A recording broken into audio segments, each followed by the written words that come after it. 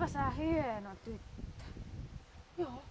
Mä. Ja niin kuin hirmu nätisti otti pakotteen tuossa, kun rupesi ohjaamaan sitä sinne taakse, niin kesti jo, kun on motivoitunut Joo, työstä, joo. se kestää aivan eri Se tavalla jännä, ottamatta nokkaa. niinku- Ja just tuo siis Niin, keppi niinku tommonen, että niin.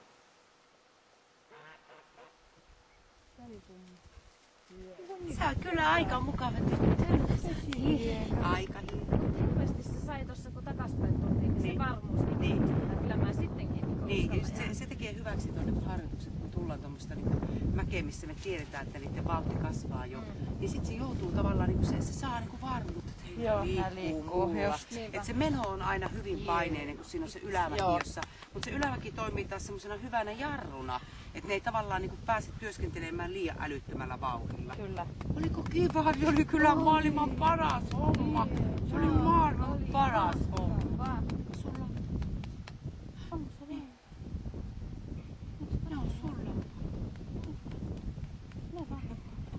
Mene vaan. Mene katso. Mutta ihan eittämättä syttyi kyllä töihin. Tosi kiva.